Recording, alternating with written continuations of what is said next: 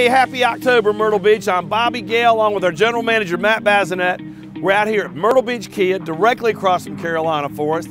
And Matt, it's a beautiful October day. Yes. October has a lot of festivals around Myrtle Beach, Yep. a lot of fun things going on. We just all lived through Ian, Yep. and that shut us down the last day. Otherwise, we would have sold 100 new Kias. That's right. And then Kia delivered 12 during the storm Yeah. to make sure that we had vehicles on the lot. Yep. But what do we got going on in October? Folks, we're going to sell another 100 new Kias in the month of October, like the 2023 Jungle Green Sportage.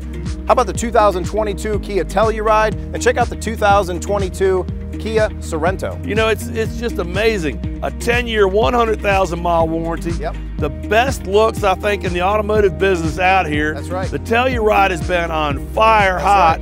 Folks, come out and see what you can get in, in the month of October. MyrtleBeachKia.net.